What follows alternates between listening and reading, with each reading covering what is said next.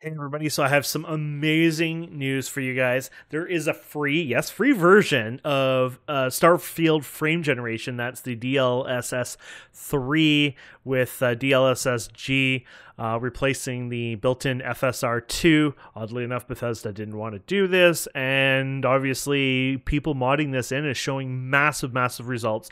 Basically, when I went to New Atlantis, I was like at like 80, 90 FPS. I went to about 140 to 150, even up to 160 FPS. I even turned off dynamic scaling because it's like, okay, something has to be amiss here. No, it is really awesome and it works really, really well. So I'm going to show you quickly how to install this for Steam. It works both on Steam and Windows. There's instructions on here. So the link's in the description. It's also in the comments. Uh, basically, there's installation here. It's literally the same for both of them, basically. Uh, it'll tell you how to uh, find the files here on Xbox and Steam. So it should be one, two, three. So what we're going to do is we're going to go to files here. This is nice because you can kind of ignore it, especially know what you're doing. We're going to go manual download here. And we're going to right click and do open a new tab. Right click, open a new tab for these both of these. It'll be a third party site. Then we're going to hit download here, and then we're just going to do slow download. So we're going to let that download now. Do, do, do, do, do. There you go. And then we're just going to go over to the tab here and we're going to download this guy here. There you go. And then we're going to go to the next tab. We're going to download this. And then we're, let's open the download folder. Okay, so you can see we have our three uh, zip files here. So what we're going to do is we're just going to go and open Steam here. We're going to library, right click, go to manage, go to browse local files. Pretty similar to what you would have on uh, Windows Store. And then we're going to open the first one, the FSR2 uh, Streamline and we're just gonna they call it steam uh, streamline but anyways we're gonna just copy this in over here. Uh, you shouldn't have to replace anything unless you've done this before. Um, and you just drop everything in there. We're gonna go back and we're gonna open one of the other ones. We're just gonna go into streamline now. We're gonna copy the two dll files here. Uh, just because of licensing rules that's why they don't include it in there. I mean they could always do that but that would be inappropriate. And that's why you you do it yourself which is one two three. I mean that's easy. If you're gonna ever get into modding in um, you know, into any other Bethesda game, including Starfield, you're gonna have to learn to do a little work like that. But that's pretty simple. And then what we're gonna do here is just we're gonna open up Starfield now, and that's it. It's you don't have to configure anything. It works out of the box. It's pretty awesome. So I'm just gonna just disable my display here. Um, I have Steam UI showing up, so you'll start seeing the frames. It's a little hard to see. It's at the very top left. I'll just basically tell you what it is once we're in the game. Uh, it's 130 plus FPS right now, but it's not like need FPS here. And then I'm using an older save just to load up uh, Jemison to test. This is how I test, and yeah, I double checked. I was getting about 80. I was getting 80 to 90 x, uh, you know, FPS. Obviously, it dips down to like 50, 60 FPS when you get those weird dips in the game. Um, that happens everywhere. I don't. I'm assuming everyone gets that from some points, especially when you're in like heavy combat or if we're in the game for a while. But look at that. We're just sitting here still 152 FPS at the top there um, which is awesome. And you can see here, if we look up in the sky here just for fun, uh, 201 FPS.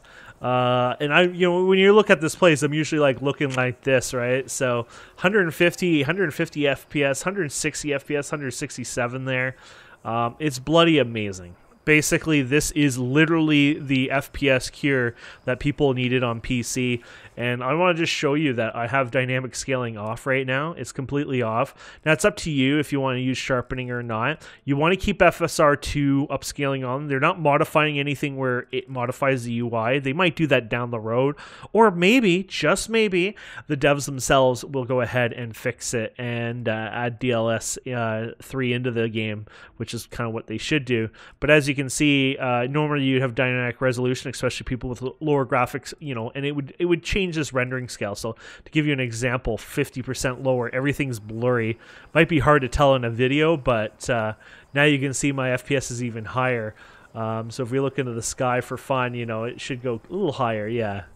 You're getting maybe an extra 15, 20 uh, on there, but depending on your computer, you might even get more. Uh, my my computer is pretty overkill for that, so I don't, I, you know, want dynamic resolution. Period. But uh, there you go. So it should come back here. Yeah, there you go. 150, 156, 160. It's it's beautiful. So that is it. That is one, two, three for you computer users. Unfortunately, you console users, um, you couldn't even use DLSS if you wanted to. Uh, it's only for NVIDIA users. Um, it's it's just what it is. Uh, there is something called FSR three coming, which does similar things. It's called the frame generation. So there is a chance. I don't know if Bethesda will jump on it because they're not even on one of the partnered FSR three users. But the idea is when FSR three comes out, at least the PC users who use the AMD cards, you should be able to see something similar uh, and get a lot more frames per seconds as well and uh, even those nvidia users who don't have newer cards who can't you know use the frame generation you should be able to use FSR3 and reap some of those benefits. So everyone's going to win eventually. Um, even the console users will probably get FSR3 eventually, which might mean potentially getting 60 FPS on console. Uh, worst case scenario, you guys are going to get a pro version, I think, next year and I have a feeling then they'll probably be able to kick it up to the 60 FPS for you. So, either way, I hope this video helped. Please consider subscribing, commenting, liking. Near the end of this video, you'll see a Let's Play series. It is my Let's Play series. If you want to support me, watch it, share it with your friends. I'm a small YouTuber, and I just enjoy games, and I like to share these videos and help other people uh, discover things I find. So, either way, I hope you all have a wonderful day, and I hope you enjoy uh, Starfield in lots of frames. Have a wonderful day. Bye.